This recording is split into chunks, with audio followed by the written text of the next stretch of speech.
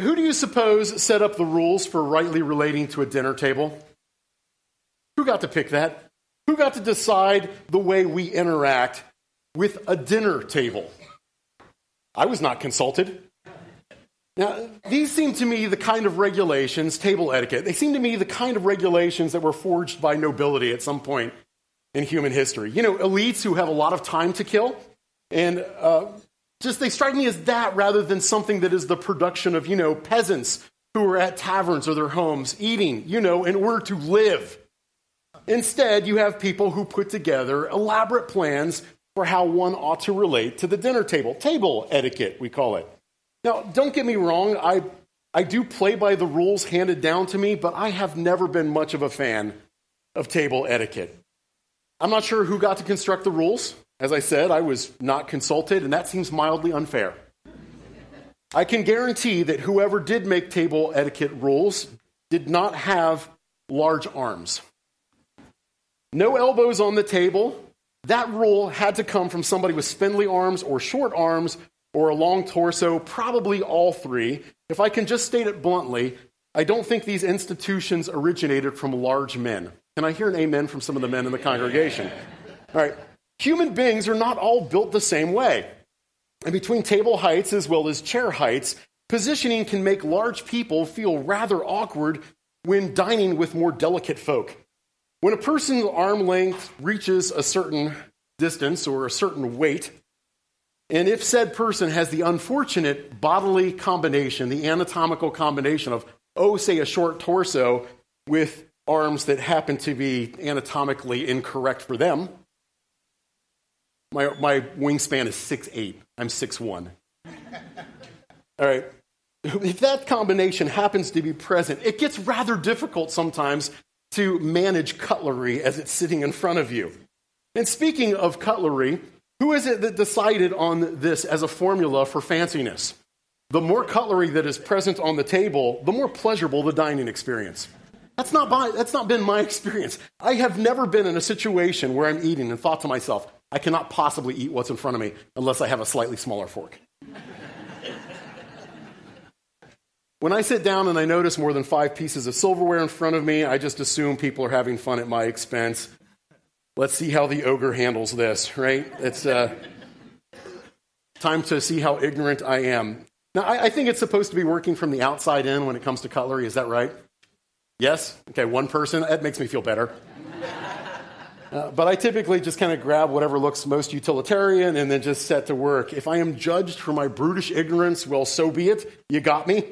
I have not invested the time nor resources to improve my knowledge of dinnerware, and realistically, I probably never will at this juncture of my life. The next time you see a guy who mildly resembles a silverback gorilla sitting at a table, wedged uncomfortably and looking perplexed while trying to follow basic table etiquette, extend that poor fellow some grace. When it comes to etiquette in dealing with one another in the family of God, and in dealing with even God within the family of God, the regulations we follow are not arbitrary rules that were bequeathed to us by our dainty predecessors. These are not traditions that have their root in human preference. The directives of Scripture for disciples relating rightly to one another, they're directives given to us directly by the God of this universe, by the Holy Spirit of the living God. They are blessedly one size fits all and created for maximal comfort and utility and accommodation of all the saints. We're going to be wrapping up uh, 1 Thessalonians this week. We'll be looking at Paul's final charges to these disciples. And the way this is going to come across is as a rapid fire set of principles for relationships between disciples and their leaders, between disciples and other disciples, and between disciples and God. Before we launch in, though, let's go to our Lord in prayer. Master, I thank you that you did not um, leave relationship with you as a mystery.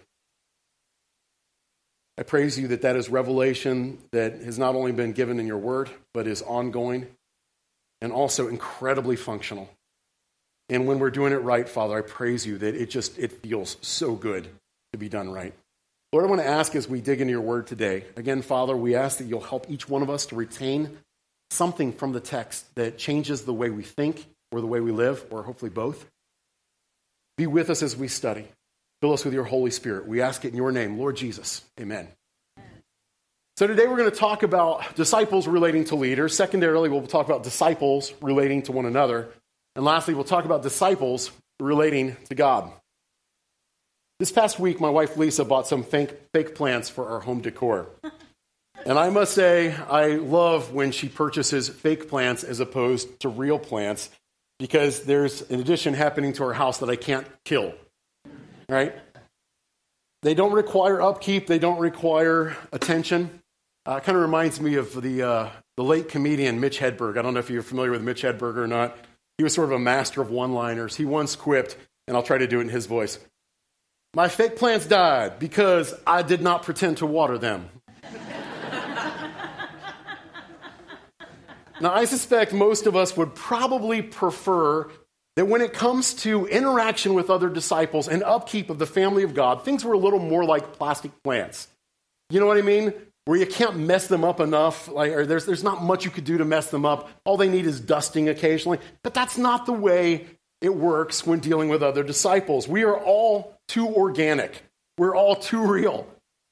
Soil and seeds and water and pests and germination. God probably actually created the whole concept of gardening just so we'd have a slew of good metaphors for dealing with one another.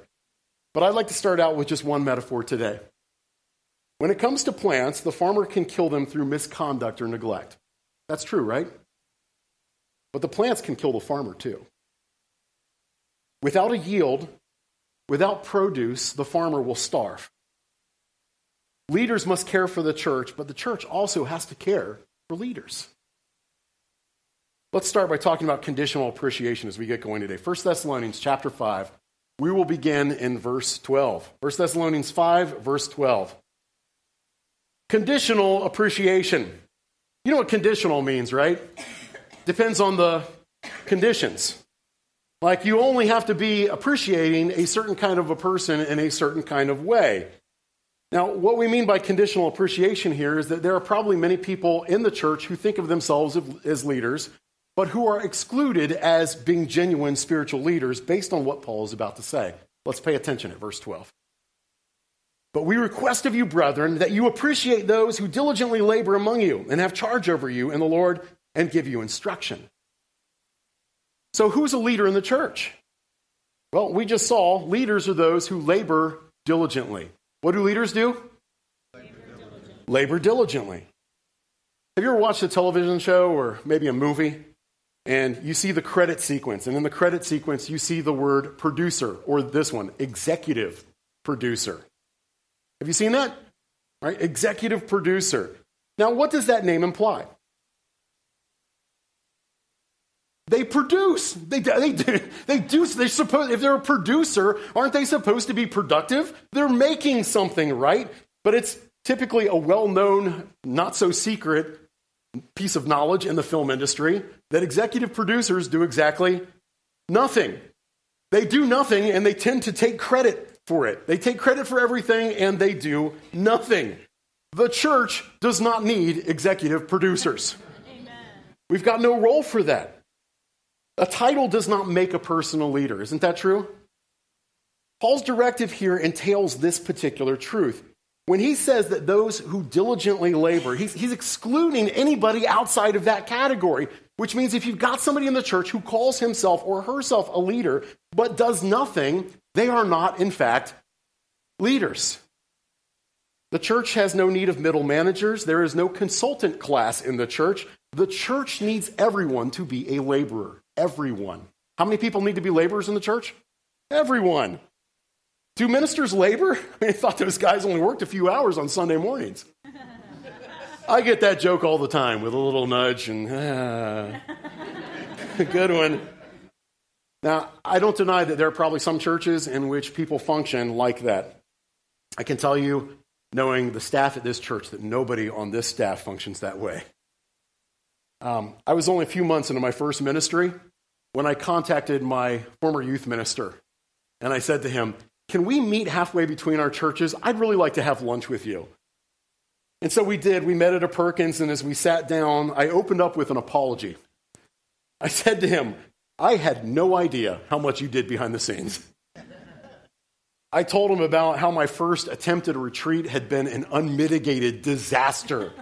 I talked to him about how much counseling he had to do and whether or not this was normal, whether this was the normal experience. I, I, talked to him about parents, and I'm like, Did you have this much trouble with parents? And I talked to him about rebellious teenagers and about teaching issues, and he just looked at me and laughed. real, ministry, real ministry requires real work. And a leader who does not put in the time is not a real leader. So, leaders are those who labor. But more than that, Paul gave us another qualification. Leaders are those who labor among you. Among you? Why would Paul have to clarify that leaders are those who lead in the flock? Let's put some feet on this in our culture. Christian leaders are not rock star pastors. Are you with me? Christian leaders, you know what I mean by rock star pastors? The guys who like show up on stage and then they, they give you a sermon and then they disappear and you don't see them again until next week. And they're not and they don't know people's names in the congregation. They're not, they're not dealing with the congregation at all. Now, that person might be doing some work in the church, but that is not Christian leadership as Paul saw it. I don't think Paul would have recognized such a person as actually leading in the flock. Leaders in the church of Jesus Christ must be accessible to the flock and interested in the flock and working among the flock. So, really quickly, who did Paul just disqualify from leadership in the Christian sector? Those who do not work hard and those who will not affiliate with their congregations. There are no aloof executives in Christian leadership. Also, those who have charge. You ever put one of your kids in charge? You ever done that? Boy, they love that, don't they? I'm in charge. And then the kid who's not in charge, do they love that? No. Why? Because they're kids and they're viewing leadership like kids view leadership, which is where having charge means I have all the power and all the benefits and none of the detractions. Is that how real leadership works? Is that how real charge in the church works? 1 Thessalonians 5:12. Let's look at it again. But we request of you, brethren, that you appreciate those who diligently labor among you and have charge over you. To have charge here is not an authoritarian relationship. This is not a person in position where they're just barking orders and they're the boss. To have charge in this context, the, the phrasing here in the Greek means overseer protectors. Overseer protectors. These are people who have a responsibility for you and who are in a condition where they're meant to protect you wherever you happen to be. The elders and leaders of any congregation bear responsibility on how they handle that role, and that should be terrifying.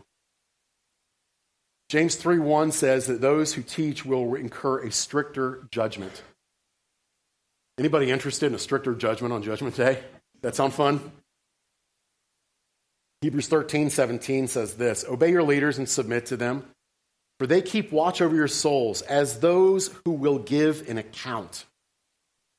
As those who will give an account. Let them do this with joy and not grief, for this would be unprofitable for you. If you've ever talked to leadership in this church, and maybe you've had some conflict about some doctrinal issue or something else, you're like, why are you guys such sticklers? Like, why won't you just lighten up on these issues? The reason is because the leadership in this church knows that one day we will stand before the God of this universe and give an account for how we handled their word. That's terrifying. If you've ever thought to yourself that, I would just encourage you recognize this is not a minor matter. When dealing with theology, like that's serious business and that's scary business. So, those who have charge over you, those who labor diligently, those who labor diligently among you, those who give you instruction. You guys ever heard the phrase hocus pocus? We have no idea where that came from, by the way. Uh, we know where its first usage occurs. It's like in the 1600s. But the best guess at where the phrase hocus pocus, which is meant to be sort of these magic words, the best guess on where that comes from is from people listening to Latin services and going, those words sound magical. And then just kind of making up some nonsense words that went along with them. You guys seen Harry Potter? You've noticed that the words they use as their spells are pretty much just Latin, that, you know, or some kind of derivation of Latin. The idea was this the idea is what these guys are saying, it just sounds so mysterious and interesting that people then adopted it. But this is the problem. People would sit through services in Latin masses and they had no idea what was being said. And so they would just sit there and go, I guess I'm being edified. I mean, I, I guess something should be feeding me in the midst of this. It sounds weird. This is why it's rather important that you get to hear the gospel in your own language, our own language. Genuine discipleship leaders actually work among the flock. They've got a sense of protective watch care. But here's the thing they actively teach and train. Actively teach and train. This means leaders are not rhetoricians. Leaders are not people who just stand up and wax eloquent so people can go, oh, that was a funny story. Or, oh, that was kind of nice. Or, oh, that made me feel special. That made me feel good. That's not the purpose. If you're sitting through a service and you feel spiritual or you feel entertained or you feel uplifted, that's awesome. But if you feel all those things and you have not been challenged, if your intellect has not been challenged, if, if your concept of who God is has not been challenged, if you have not been challenged to live differently, then what you're getting is not leadership. So, we've learned a lot about leadership. Now, how do you appreciate leaders? Let's again look at our text in verse 13. We'll look at verse 12 and 13 here. But we request of you, brethren, that you appreciate those who diligently labor among you and have charge over you in the Lord and give you instruction, and that you esteem them very highly in love because of their work. Live at peace with one another. Esteem them very highly. I tell you truthfully, I knew this particular sermon was coming up, and I was uncomfortable even thinking about having to stand up here and give a sermon that sounds very much like, hey, everybody needs to appreciate me. these are the letters, these are the words of Paul to the church, and even delivering them, though, it does have this really awkward sense because, uh, you know, I guess I fit that category, right, of leader within the church. And so standing up and telling people, like, esteem your leaders highly feels really awkward, uh, kind of like you guys need to treat me with honor. But recognize who he's talking about here. He's, he doesn't say him, treat him with respect honor him, he says them. Right? And this is imperative for understanding this. Any church with a CEO, one person leader, is not functioning as the church of the Lord Jesus Christ. Amen. Leadership is a broad scale thing, and it requires people throughout the congregation to engage in this. I, I know for a fact that I could disappear from this congregation tomorrow, and this congregation would be just great. Because there are so many leaders and, and people who are doing the right things for the cause of Jesus Christ in this place. And it is a blessing to be working among such a church. Esteem them very highly because of their work. Esteem them very highly. What does that mean? Whenever you don't understand what a text means in Scripture, do you remember the rule of opposites? Okay, so if you're having trouble like figuring out, like, okay, how would I apply this? Flip it on its head and try to see what the opposite would be. Rather than esteem them very highly, it would mean esteem them very lowly. Esteem them very lowly, or value them or appraise them with little regard. Treat them like doormats, treat them like they're beneath you. Now, why might that be a possible pattern that Paul has to warn the church against? Are we really in danger of treating leaders within the church in a demeaning fashion? Why would Paul have to say this? Because leaders in the church are meant to function like servants, right? So, those who lead, that's what the term minister means. It means servant. The ones who lead are meant to be serving other people. And there's a danger that Paul sees in the church that as you view these people, that you begin treating them like your slaves. Let me try to illustrate this. And I just want you to see how wildly inappropriate this would be. Do you remember the sequence where Jesus is washing his disciples' feet? And he's showing them service leadership. I want you to imagine Jesus is just wrapping up the last disciple. He's scrubbing up their feet. And as he gets to the end, one of the disciples is like, um, um, Excuse me, you missed a spot. Or maybe Jesus gets a strongly worded letter the next day from the mother of James and John, wondering why Jesus didn't start and end with James and John. And she chastises Jesus on not thinking about how it would make some, some people feel, by which he means her, that they weren't honored in this specific way. And why couldn't he think more of her and her feelings in particular? Imagine Jesus is in this position. He's just washed their feet, and they're like, How about you go get us some grapes? right? Feed us grapes. Or why didn't we get oil poured on our heads and on our feet, right? Now, do you see how wildly inappropriate and awful that would have been? And yet, how often do we treat those serving in the church as though they are our slaves? Transgressing in this matter would look a little bit like this. And if you did this, I'm not picking on you in particular. Barking at the building and grounds team because they're not doing things the way you want them to. Talking to those who serve in the children's ministries as though they're your employees. Sniping at people because they are not conducting ministry according to your specifications. Uh, I remember my first ministry job, I was a few months into the job when I received a call from an elderly man in our congregation who proceeded to yell at me for about 30 minutes. You know why he was yelling at me? Because I did not think to have the youth group come out to rake his leaves. He did not ask me to have the youth group come out and rake his leaves. He thought that I should have thought of that and that I should have put that into practice. And I was like, this is ridiculous. Everyone around me seemed to recognize it was ridiculous, but those kinds of things happen where people are like, how come you can't intuit exactly what I need at this exact moment in time? You should have guessed. If you really loved me, you would have known. Nobody in the church should be walking around barking orders and telling people what to do.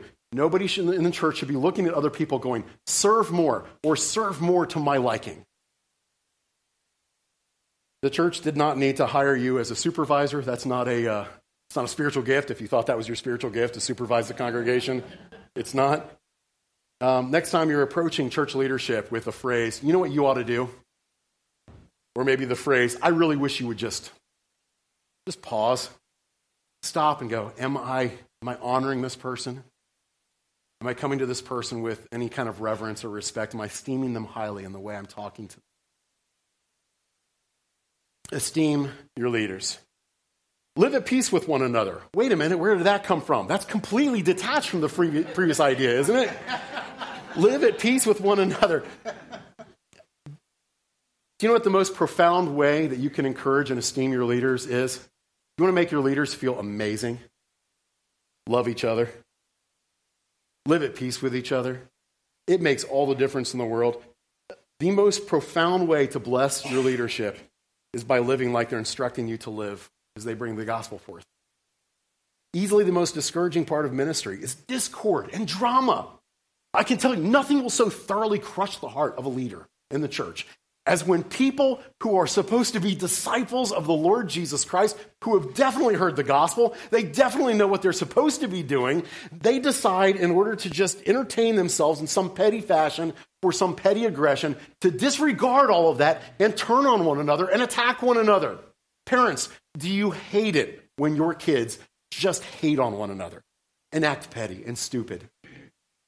Doesn't, isn't that in discouragement? Don't you love it when you see your kids and they are just loving on one another and building one another up, uh, building one another up and encouraging one another? Ever had that blessing? Try to empathize for a moment. Imagine you've devoted your life to the studying and articulating the Word of God. Uh, imagine putting together teachings or sermons with fasting and prayer and study and dialogue with the God of this universe, filled with the Holy Spirit all week, coming together and delivering those words, right? Or, or, imagine you've put together this, this worship set and this band practice, and everybody's getting together and they're trying to bring an optimal worship experience. Or you're over there cutting out construction paper, though you're an adult, because you care dearly about these children and you want them to learn and you want them to receive this information. And then you come into a situation where you're ready to serve your fellow believers, and for some reason or another, somebody is attacking somebody. Um, I can tell you, uh, blessedly, that I have rarely encountered such snitty behavior in this congregation. And I, I say that to your great glory as a congregation because I know a lot of Christians struggle with these issues. I am not experiencing that at all right now. So if you're afraid I was about to use you as an example, I don't know what you did. You know what you did. Uh, this is why it's a good time for us to actually have this conversation. If you want to delight and encourage leadership in the church, Resolve your issues like Christ told you to resolve your issues with one another. Amen? Okay, so we've talked about relating to leaders. Let's talk about relating to the brethren, relating to the brethren. Uh, we have reached the end of Paul's first letter to the Thessalonian church, and you know what that means? Have you ever started writing a birthday card to someone? And as you're writing the birthday card, you start with those big, big letters. And you're like, Happy birthday. You and then you start going, Oh no. Because you're running out of space. You know what I mean? And what started out as big letters starts getting smaller and smaller, and then you're writing up the side of the card, you're jamming those words together because you've just got more to say, and there's not enough room to say it. Well, in the first century, parchment was hard to come by. Writing materials were very expensive. And so Paul couldn't just like go down to, you know, uh, Office Max and grab some more paper and just keep cranking it out, right? He had limited materials. And so what he's doing at the end of this letter, and you'll notice this in Paul's epistles, as he's getting to the end of the epistle, he starts just dropping these like boom, boom, boom, boom. He's, he's like these like two word sermons. You know what I mean? And he's giving these final greetings. He's bringing all this information really quickly. And that's what's happening here in this text. Now, these are not throwaways. What you're about to see in this kind of this, what I'm going to call machine gun morality, is you're going to see Paul drop these really fast teachings, and he's just spamming all of these teachings at the Thessalonican church. Bullet point instructions, but these are not leftovers. There's meat here. Let's dig in. Machine gun morality. 1 Thessalonians chapter 5, verse 14. We urge you, brethren, we urge you, brethren, admonish the unruly, encourage the faint hearted, help the weak, be patient with everyone. See to it that no one repays evil for evil, but always seek after the, that which is good for one another and for all people. Admonish the unruly. Everyone say admonish. admonish. What a great word. Admonish means to warn or to reprove or to correct. Uh, to put this in probably the most layman terms, it's you looking at another person going, Would you get your act together? That's admonishment, right? You're calling somebody out. Like, Come on, get with it. And who are, you admonish? who are we to admonish? Did you see? The unruly. The unruly. The disorderly. The term literally means the one who is out of ranks, as with soldiers. The person deviating from the prescriptive rule, the one who is out of step with the rest of the formation. You guys ever seen a, a marching band or maybe a group of soldiers and they're all marching in lockstep and all of a sudden one person gets out of step? What's the one thing that you look at? It's just that person, right?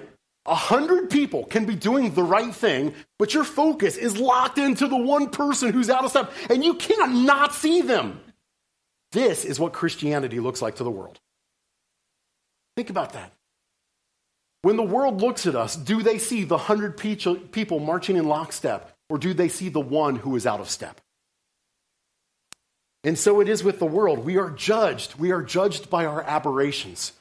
Those who are not following Jesus Christ become representative of the whole community of the people of God. Rein them in or kick them out. That seems harsh. This is the idea with admonish the unruly. That person either gets in line and you got to start doing things the right way, or you can't be part of the group. You're not in the marching band anymore. We're going to kick you to the curb. You might be thinking, yeah, but that's something that leadership does, right? Yes, Leadership admonishes the unruly. It is the job of the entire church.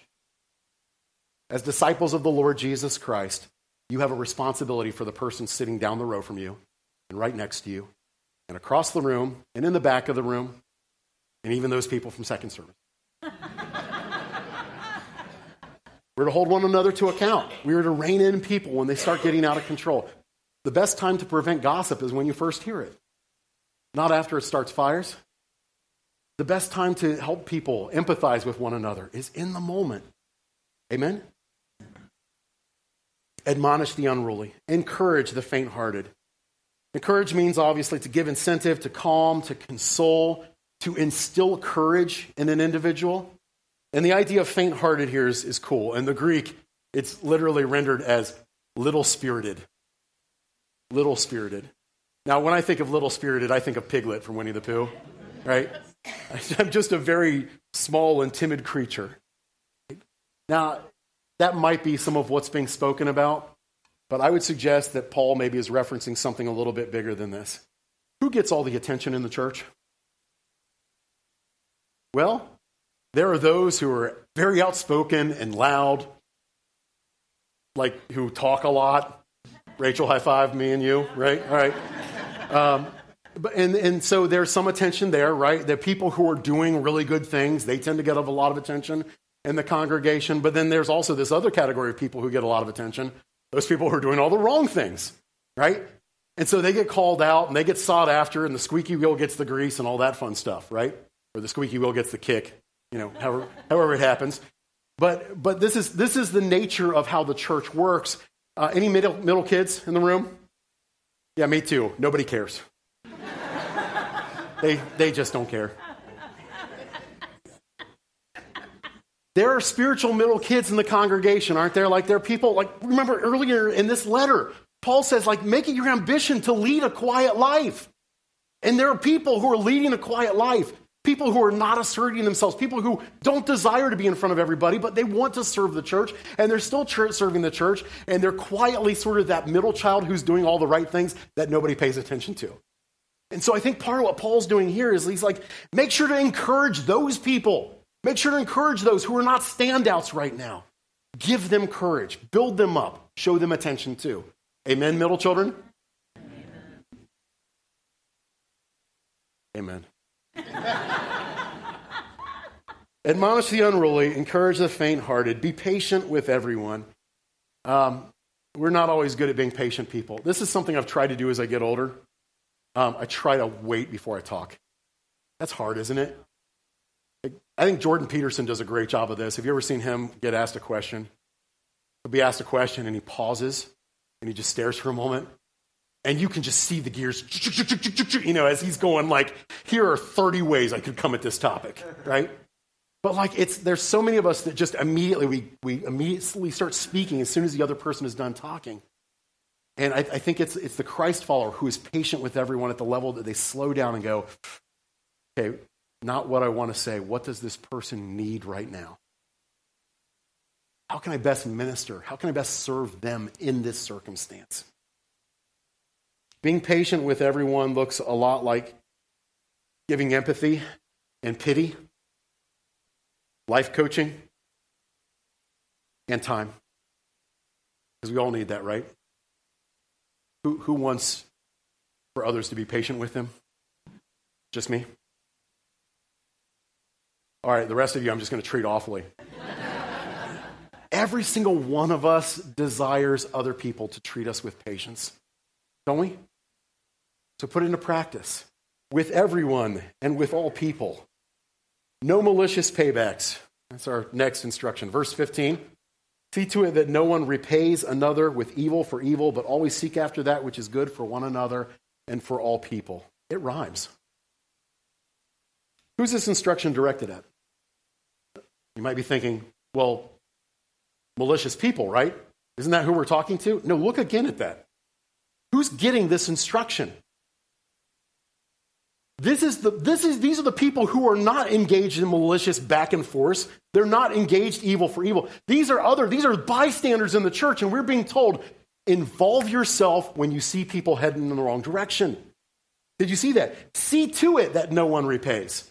That means you, as the person who's not involved, need to look around and go, uh, time to be a peacemaker and step in and help fix situations before they get out of control. Whose responsibility is that? Is it just the leaders? No, it is all the disciples within the congregation.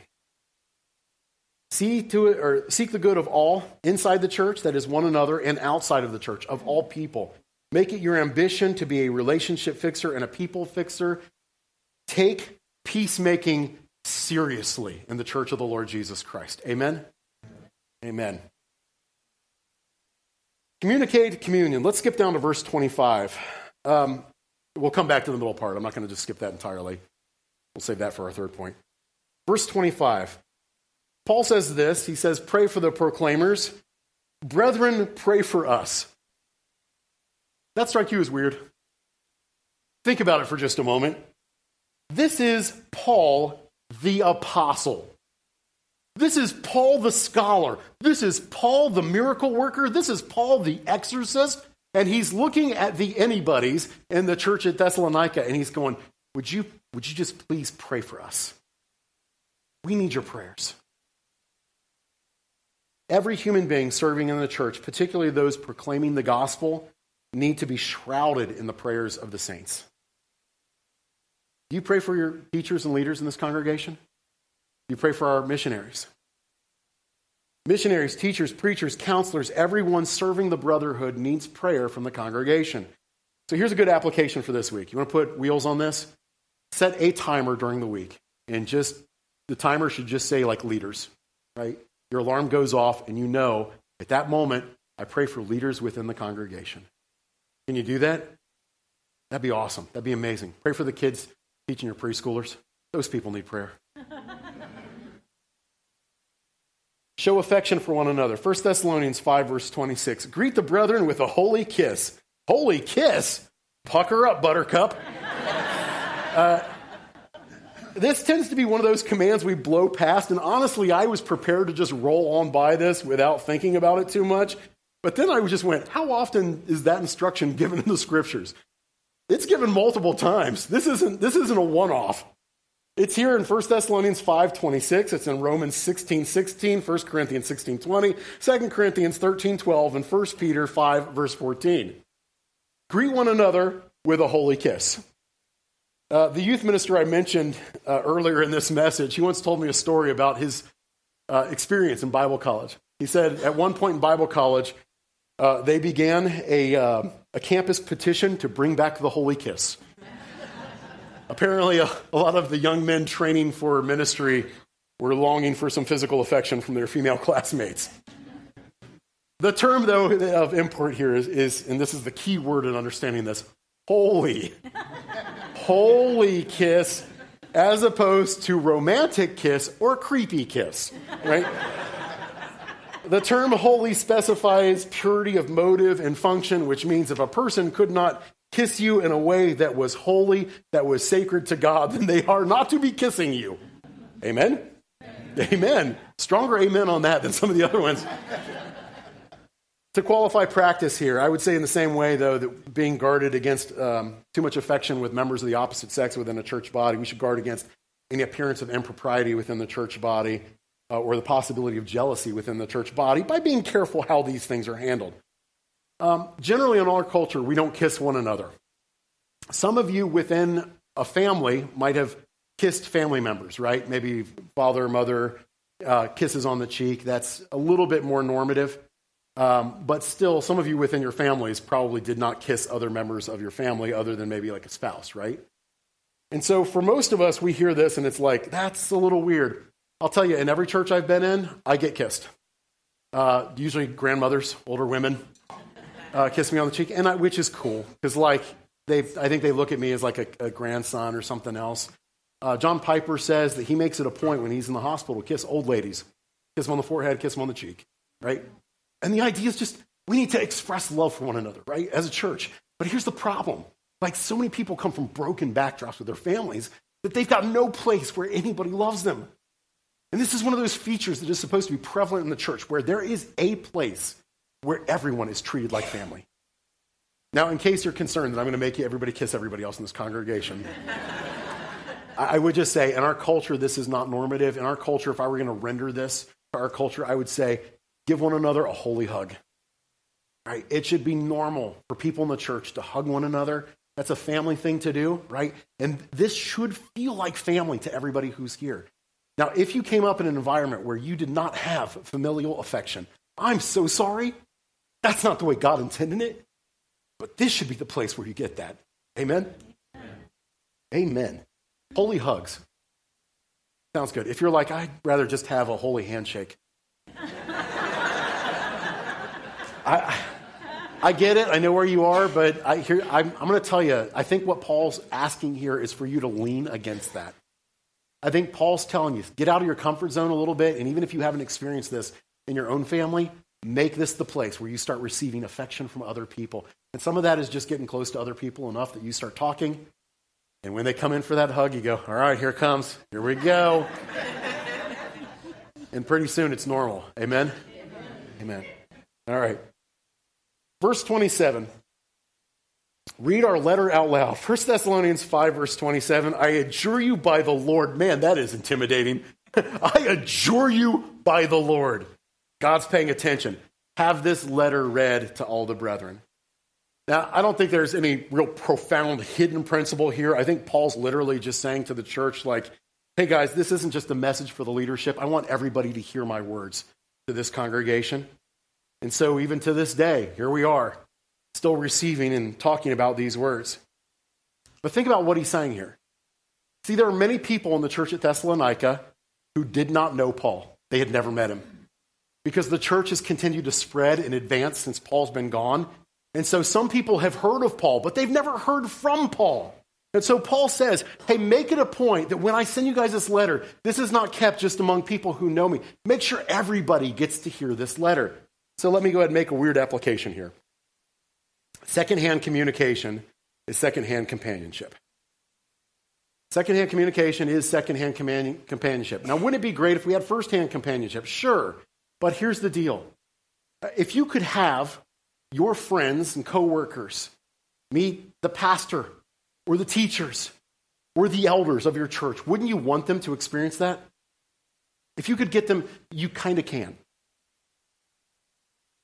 When you talk one story at a time or one anecdote at a time, when you allow your life among the family of believers to start entering your life outside of the family of believers by just talking about it, people start feeling like they know the people that you know.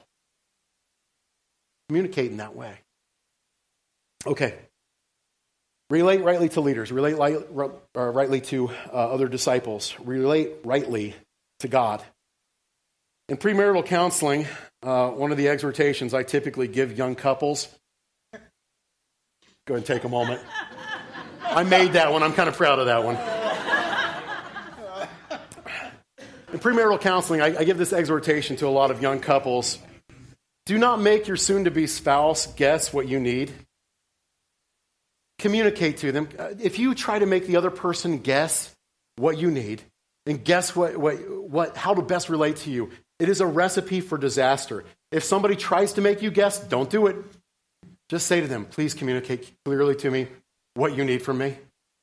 And do not make your spouse guess. Do not hold them accountable for things they could not possibly know without you telling them. Amen?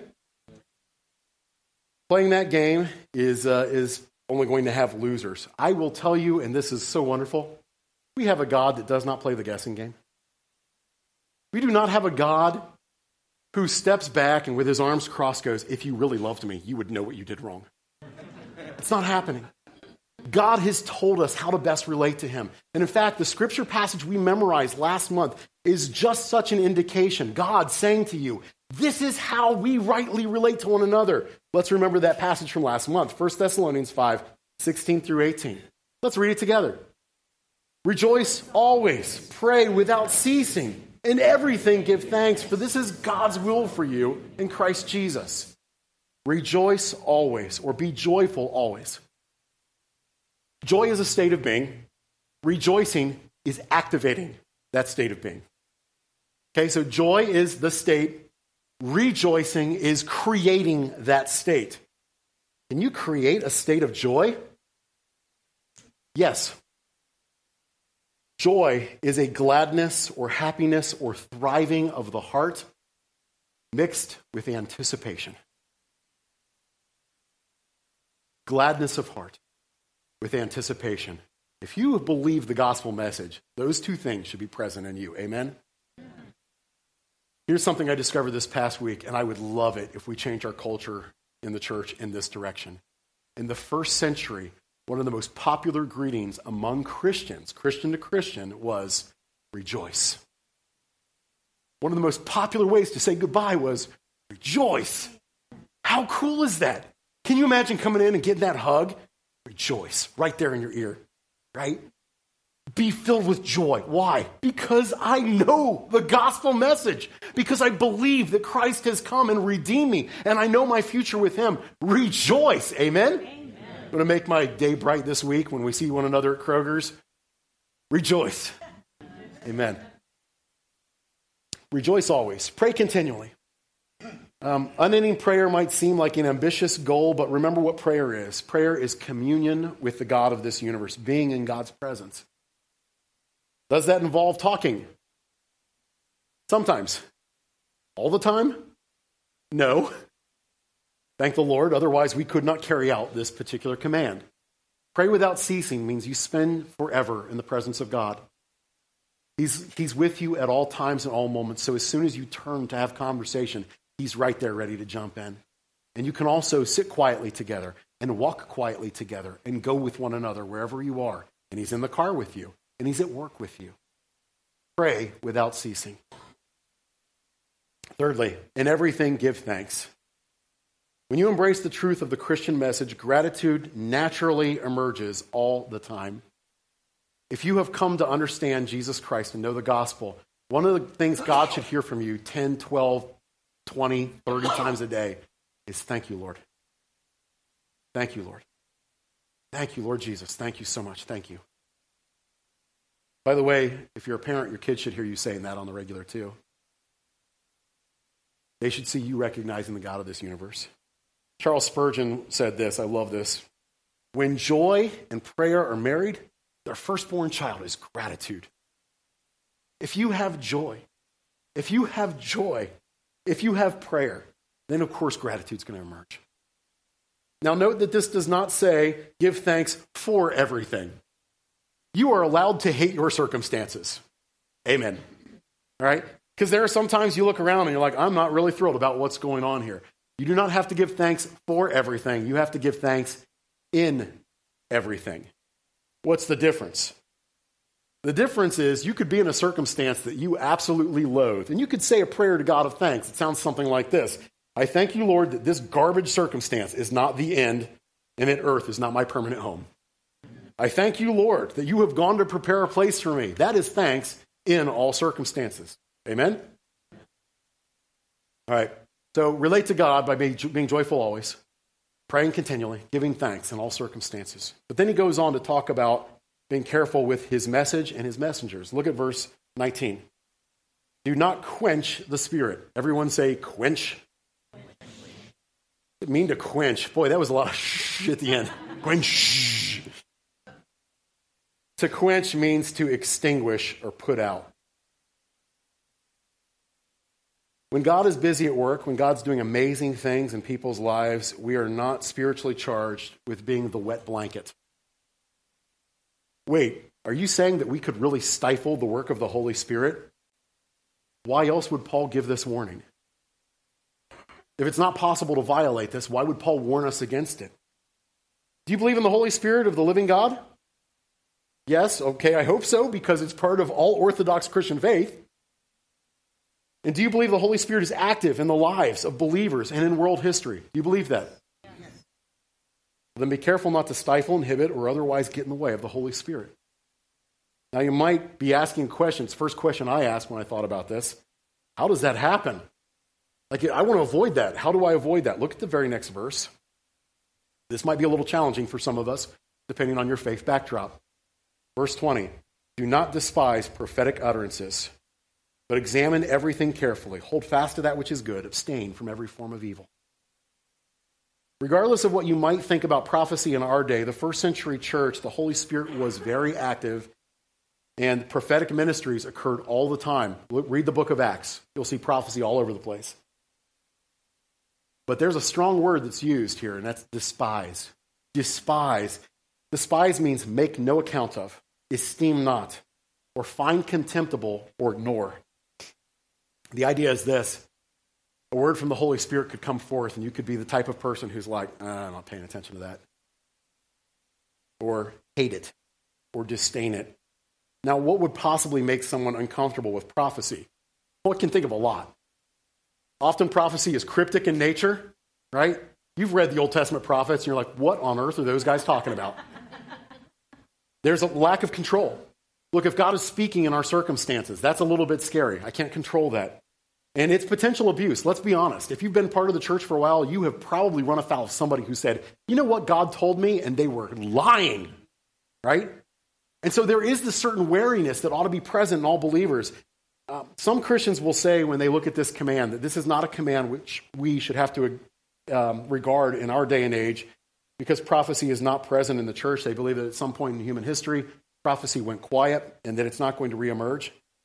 Um, I would not personally be comfortable with going that far for the same reason we just mentioned. Look, I do not want to quench the spirit. If God's trying to speak right now, I don't want to be the person who's like, uh uh-uh, uh you don't get to do that. I am open to prophetic words, but I am cautious with regard to prophetic words. I would suggest to you that, that is a good condition to be in within the church for all the aforementioned examples.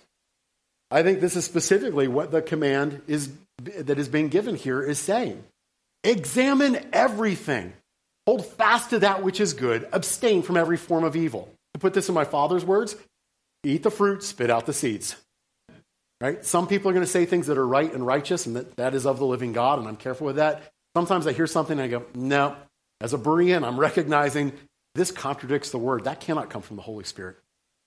Take it to the curve. Okay.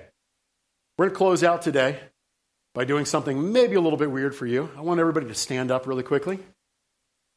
Time for holy kisses. I'm kidding. We're not going to We're not to do that.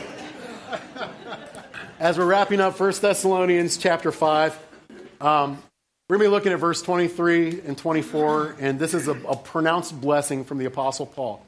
Now, if I asked you to help lift up a refrigerator with me right now, okay, here's what we would do. Like, we would ready ourselves, and you would tense up, and you would get down, and you would put your weight behind what we were about to do, wouldn't you? Okay. So, when we're praying as believers, you are a follower of the Lord Jesus Christ, you're filled with the Holy Spirit of the living God. When you speak a word of blessing, it has weight and power. Okay, so set your will to pronounce blessing. And here's who you're going to bless. You will be blessing me, and you're going to be blessing the other people in the room standing next to you and across the room and around this room as we pronounce this blessing. Put your weight behind it, right? Spiritually ready yourself to do this. And I will be up here doing the same thing and blessing you. Let's pronounce blessing now from the word. 1 Thessalonians chapter 5, verse 23 and 24. Now may the God of peace himself sanctify you entirely and may your spirit, soul, and body be preserved complete without blame at the coming of our Lord Jesus Christ. Faithful is he who calls you, and he also will bring it to pass. Let's pray. Lord and God, thank you so much for this family. Father, we want to relate rightly to leaders within this church, rightly to one another, and we want to relate rightly to you. Father, I pray that you'll sear into our hearts and minds the lessons we take from 1 Thessalonians. Help us to conduct ourselves as your disciples. We ask it in your name, Lord Jesus. And all of God's people said, Amen. Amen. God bless, guys. If you liked what you saw here, go ahead and click on that like button. And while you're at it, for more great content, go ahead and subscribe to our channel.